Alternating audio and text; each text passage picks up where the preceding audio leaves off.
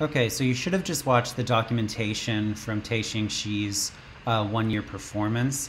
Um, really, one of the more remarkable projects in the history of art, I think. Um, uh, really very demanding, but also uh, uh really, yeah, worth worth talking about and thinking about. Um, so uh, Tehching Hsieh is, is, I suppose, uh, an American artist in some ways. He um, he was living and working in New York City when he when he made these pieces in the between 1978 and 1986. It's important to know that she arrived in the United States though from Taiwan in 1974 um, as an illegal alien, and he remained uh, he remained illegal um, until until he was awarded amnesty or, or got amnesty in 1988. Um, so all while he's doing these one-year performances that I'm going to talk about, it's important to recognize that he's both an, an immigrant, uh, a Taiwanese immigrant to the United States, and living um, as an uh, illegal alien um, in the official terminology. I use that terminology here. I, I, I don't mean to bother anyone with it, but a notable art historian, Frazer Ward, um, writes about Tehching Hsieh in terms of sort of accepting, not not accepting, uh, but confronting this status as both illegal and alien at the same time. And that this, in some ways, speaks to what uh, what Tehching Hsieh is doing here. So, um, you should have seen from the documentation uh, the one-year performance you looked at was time clock piece. This was uh, in 1980.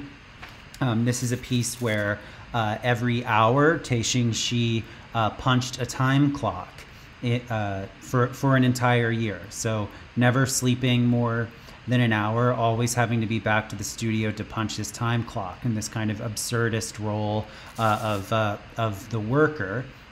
Right. And I think we could immediately strike us as critical that um, in this performance, he's playing the role of the worker, of the person who constantly needs to be uh, punching in their time card uh, at a time when he cannot have employment, right? He can't he can't go out and get a job as a, an illegal alien in the United States.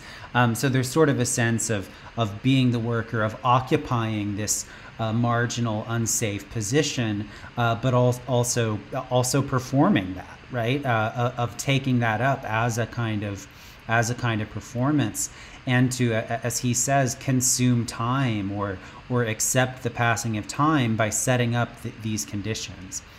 And so the documentation of these performances is really important to think about. And I, I think in, in this section, it's, it's really worth thinking about uh, about how documentation either does or doesn't give us the experience of the piece, right? Like what is documentation itself supposed to do?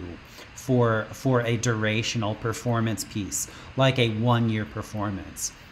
When we look at the images, this is a this is a gallery view of how these are installed. Um, individual images along the wall, so every uh, every shot, right, from every hour of the year lined up, so you can see the passage of time marked by this. Of course, in the film documentation that you saw, that happens more rapidly in the form of stop motion animation. Um, and there is this this really, I think, interesting uh, experience of watching this, right, and trying to imagine, like, first of all, like what the experience would have been like, but also why this would have been the case. And previously, for Burden and these other figures, I gave you some autobiogra- autobiographical background uh, on this, but. Um, the argument that again uh, that this art historian Frazer Ward lays out is that these are in fact, or that Tehching Hsieh is, is really negating subjectivity.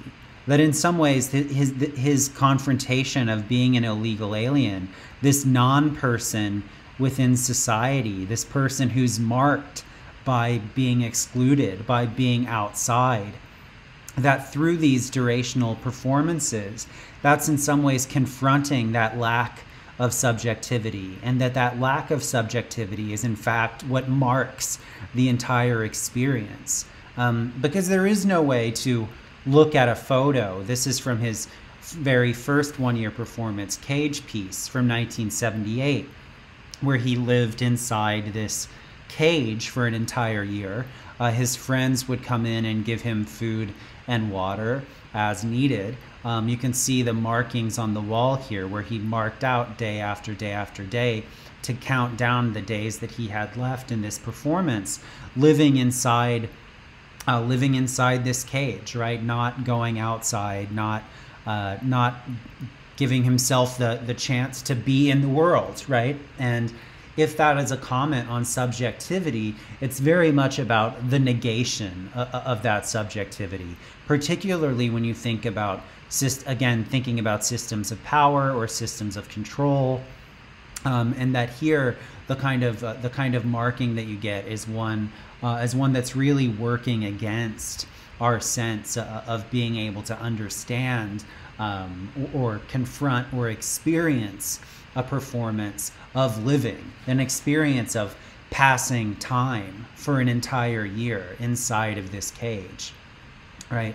Same thing with uh, with the other pieces in this outdoor piece from 1981 to 82.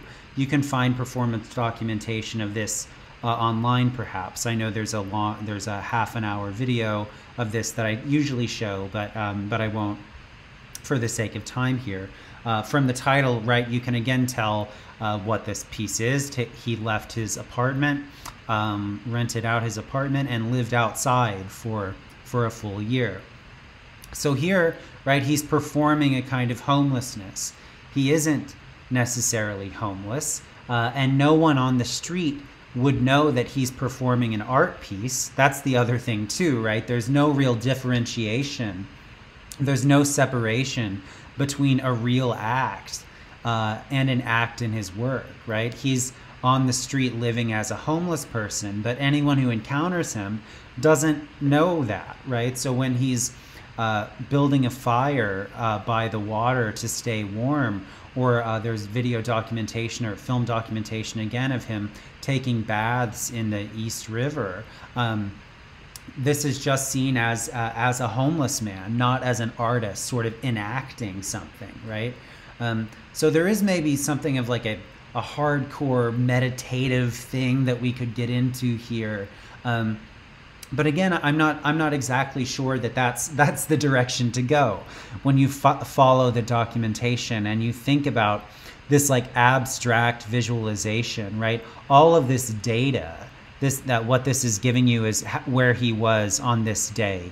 So on September 26th, uh, which was yesterday, uh, we're almost doing this on a year anniversary of my recording it at least. 7:40 a.m. woke up. 10:25 p.m. I slept. 4 4:20 a.m. I bought breakfast on uh, 6th Avenue. 6:35 I bought dinner. All of these marked out. But that can in no way again give us the experience, right? This this documentation, this abstract documentation or visual documentation doesn't allow us an interior, right? That doesn't give us an interior view of what his experience is or what life was like or what this uh, or what it would have been to live outside for a year. Um, and in this way, right, uh, uh, particularly again as an as an illegal immigrant at the time, this in some ways, uh, uh, again, that Ward argues, is that this is performing a kind of invisibility or a lack of recognition.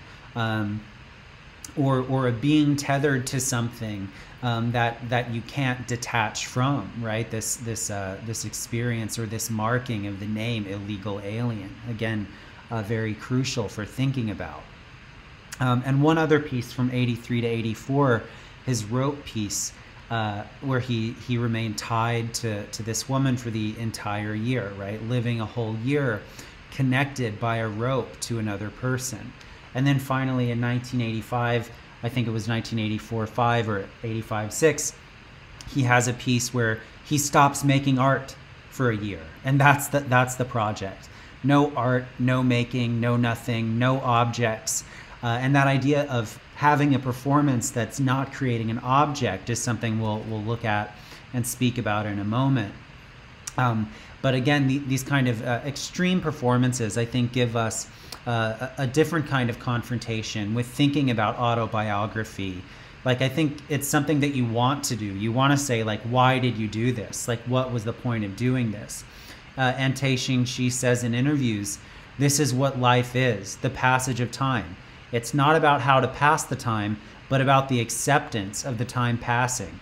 I know people think of my work as spiritual, but really it's just that I consume time. That's all.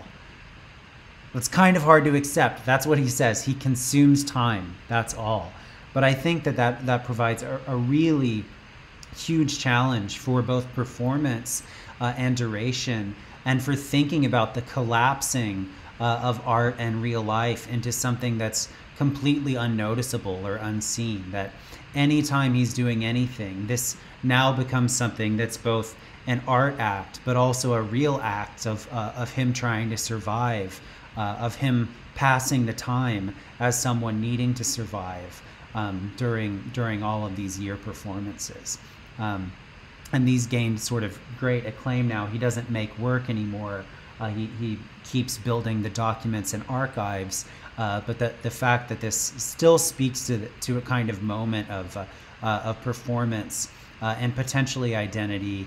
Um, but, uh, but that again seems almost too abstracted from, um, from just thinking through the reality of time passing, the consumption of time, and how a performance artist in particular might confront that question.